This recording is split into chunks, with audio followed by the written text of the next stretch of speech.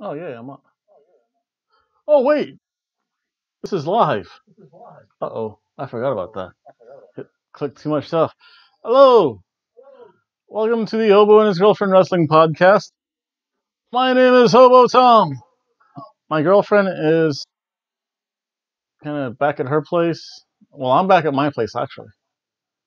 So she's back at her place contemplating new car and jobs and other stuff. And hopefully I, I get a new job too. But let's talk about some pro wrestling again. Thank you for watching. And my name is Hobo Tom. You're watching the Hobo and His Girlfriend Wrestling Show here on YouTube. Our YouTube channel.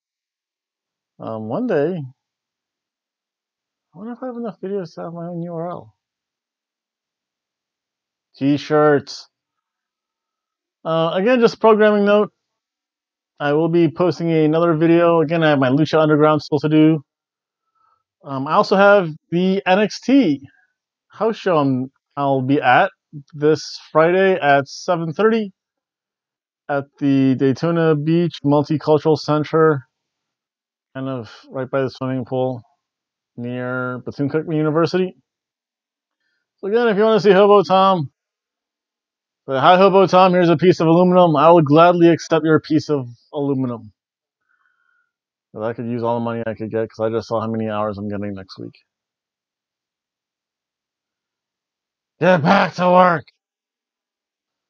Well, tell my girlfriend that. She does not like that. Again, kind of be busy. Also, we have another video. Uh, WWE 2K17.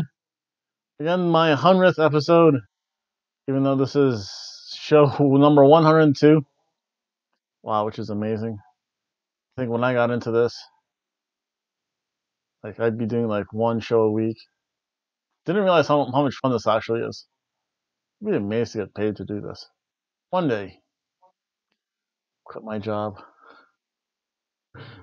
get paid to go watch wrestling events and, and wear wrestling t-shirts. Again, I have my friendo shirt on. I think all, all my other shirts are right now in the laundry or when we worn worn soon. I do have my one NXT shirt I like to wear. NXT events. But let's talk about some SmackDown. Not NXT yet. We'll do NXT later. Um, starts off with Brie Bella and Daniel Bryan. Again, just a promo. Starts to run down the Miz. The Miz, the Miz comes on. Big screen. That's that's really good. Then Iglo, Los Sombra, Andrade Cien Almas, Mini Vega she is short. I mean, even on the ramp, you can tell he's like standing like two or three feet in front of her, and he, he still towers over her. But yeah, this led to the first match. And Aligalo is not done with you. Daniel Bryan, Brian Danielson. Yeah, is it Brian Daniels? That's his real name? I know it's flipped. I forget if it's Danielson or just Daniels. Who knows?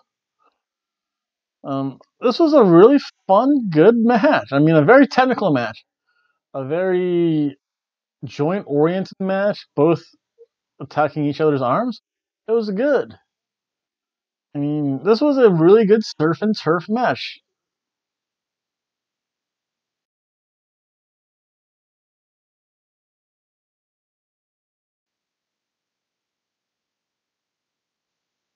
I mean, harkens back to the days of NXT, even well after Daniel Bryan was there, but definitely when when um, Andrade Almas was there.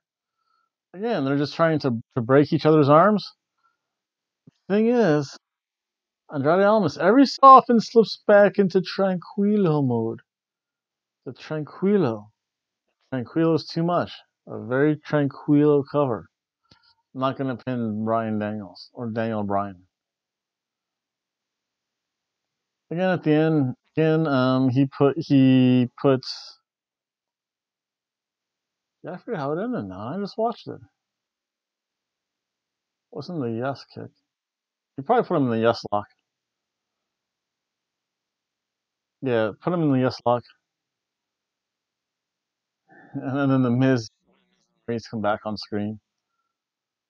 Miz is so good. He the Bellas. Them the Bellas. Although Daniel Bryan does have to teach Brie how to do a suicide dive. Daniel Bryan makes it look so much simpler. Kind of dive. It's gravity kind of float down. When Brie does it, Brie kind of, hello kitty cat, decides to really do a dive. And not good. Thankfully, Sarah Logan, I think, tries to somewhat catch her. But Brie Bella has to learn how to do dives, or, or she's going to have to go to impact testing and concussion stuff done to her. But then next, we had a heel Becky and and a, a face Charlotte interview. Eventually, broke down. They just say, "Yeah, yeah." Again, the crowd still chanted, "Becky, Becky, Becky." Heel Becky is so hot, biatch. Yeah, Becky's good. Face Charlotte, eh, it's okay. I wonder if this will be in, in a Hell in a Cell. I don't know. I think there's only going to be. I know there's the one Hell in a Cell match Raw. That's Strowman. The second one on SmackDown is going to be. And Jeff Hardy. Please don't die. Versus Randy Orton. I have a funny feeling it's going to be AJ Styles and Samoa Joe. It makes sense the way the two are going at each other. But then heel Becky and Charlotte in a Hell in a Cell. Ooh, that's so good. I thought of something, but WWE is never going to do it though. Have Charlotte Flair pull a Ric Flair and do a blade job. Amazing! If they do that, send me one shiny quarter. I thought of that first. Um, then we had a Naomi versus Peyton Royce match. Again, the Iconics come down. They're not getting. They're not as funny as they used to be. I used to like it when it was more spontaneous. Now it's like you almost expect it, and you just expect better from them. So this was an okay match, kind of short. I th- at least I think it was kind of short. And didn't we see this like two weeks ago? Again, I'm not big on having constant matches. I mean, there are enough women in the women's division where they could have new faces, although at the end, I'll talk about that shortly. Um, I don't know. We'll see. Yeah, this match was a ham sandwich. It was a good match.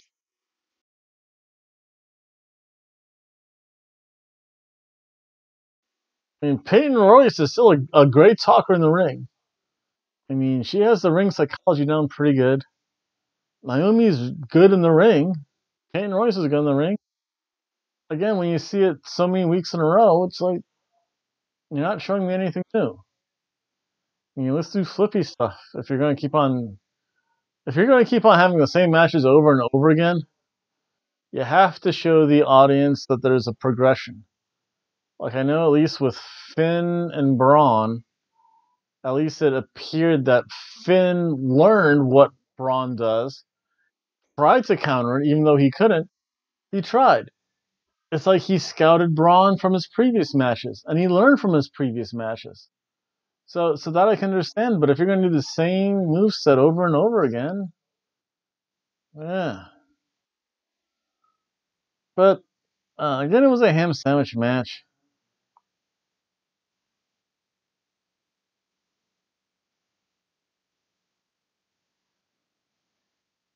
Naomi got the pin over Peyton Royce. So at least she won. I wonder if next week if they're gonna have her face Billie Kay and have her beat Billie Kay. That's a horrible prediction. I almost think it's gonna come true. But of course, Billie Kay is being upset that her her iconic buddy lost, and Peyton Royce being upset that she lost. Decides to just jump Naomi. In comes Asuka.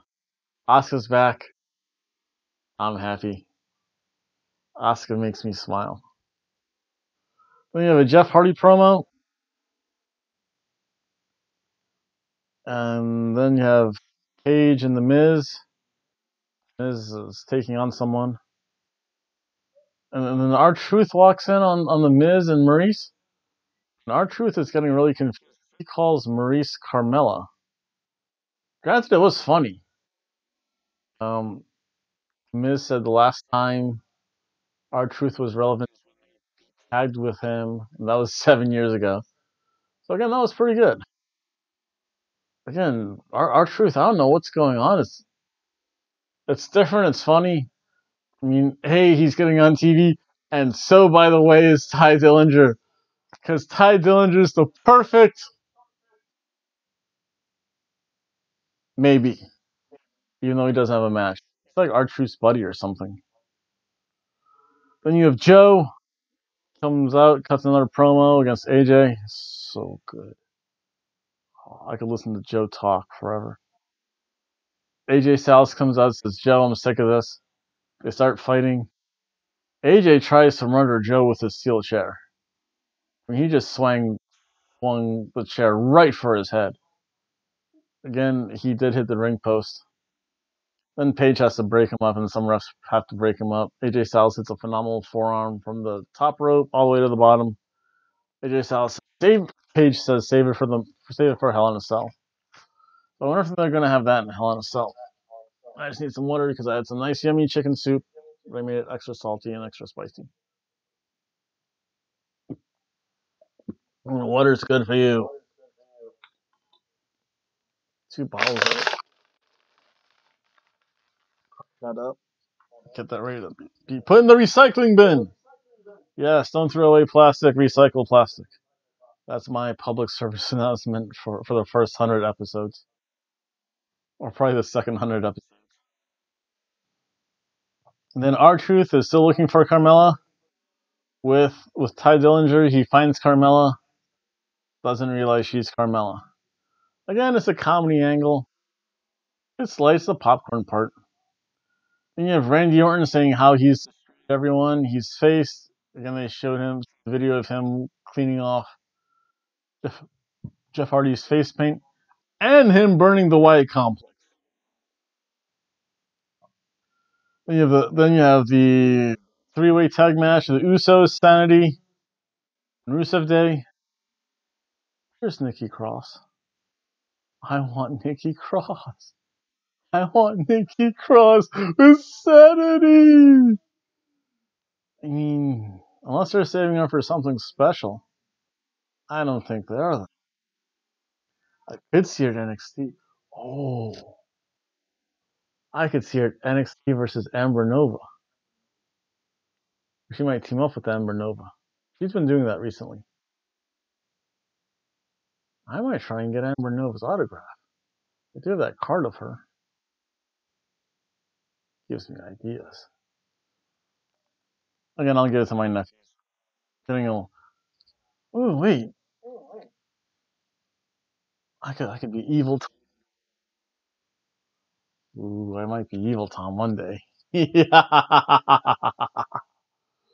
we'll see though. I have to get autographs and and first I have to make sure that I have off that night, and in case some other person doesn't show up, work. Uh, but this is about wrestling. So let's talk about the Usos signing and Rusev Day. Again, this was a fun surf and turf match. I mean, everyone's jumping on the ring. That seems to be the whole thing. Sanity's the hardest hitting team. The Usos have their classic move set. Again, the Samoan drops, super kick parties, and splashes. Rusev, I mean, Rusev just does the kicks, the really heavy stuff. Aiden English was was great because he saved Rusev Day a couple times. Aiden English is the savior of Rusev Day.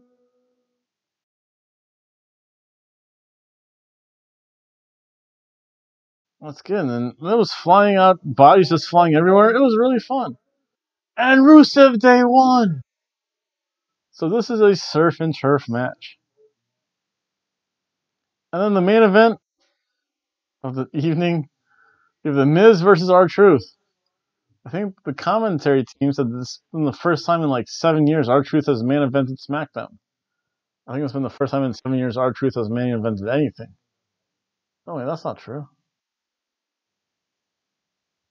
Wasn't didn't they do a main event on Raw maybe with that was Raw I guess with um Goldust? I don't know. Then.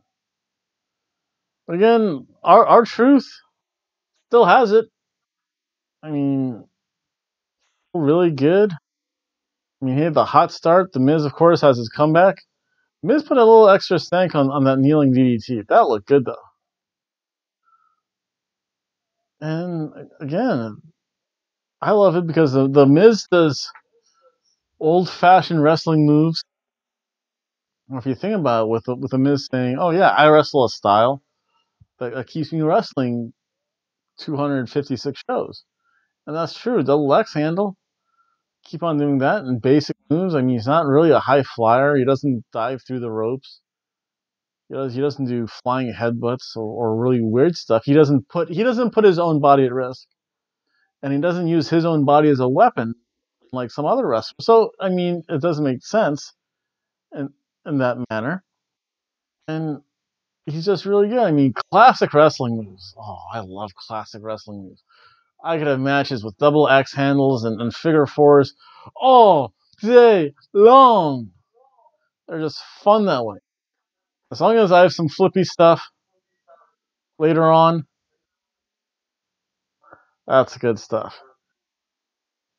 And then he puts a little uh, extra stank. I mean, the Miz has to learn how to hit that last yes kick, though. Always misses it.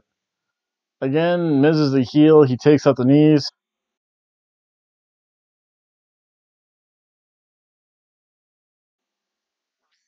You know what, baby? It was a dusty finish, baby. Nobody wins. And that's only because Daniel Bryan comes in, interferes. The Miz does win by DQ. R-Truth loses by DQ. And then, of course, you have the big spot of Daniel Bryan put its Miz in the yes lock, and then Brie puts Maryse in the yes lock. But then you have Andrade Cien Almas and Zelina Vega come in. So I think for the go home show next week, this is going to set up an eight person mixed tag match. Again, let's see what happens to my predictions. That could be good. Could also be terrible though. Know. All, all depends what they decide to do. Because it would probably be the Miz and Maryse and Andrade Almas and Zelina Vega versus R-Truth and Carmella and Daniel Bryan and Brie Bella. And Brie, no more suicide dives. That's just all bad. So that's the end of the show. Like to thank you guys for watching again. From my previous show on Raw, I did show you I make an almost Chicago style pizza.